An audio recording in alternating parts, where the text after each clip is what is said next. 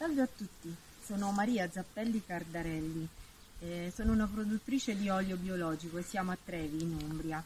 In questo periodo siamo impegnati nelle operazioni di potatura. Eh, per l'uliveto è un'operazione molto importante perché consente di rinnovare le piante e di prepararle al meglio al momento della fioritura che sarà poi alla fine di maggio.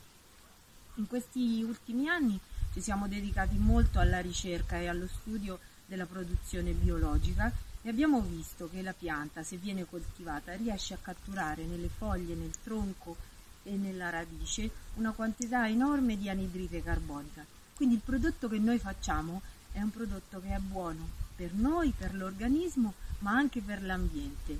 E allora io vi invito a, ad assaggiare questo meraviglioso prodotto in Umbria.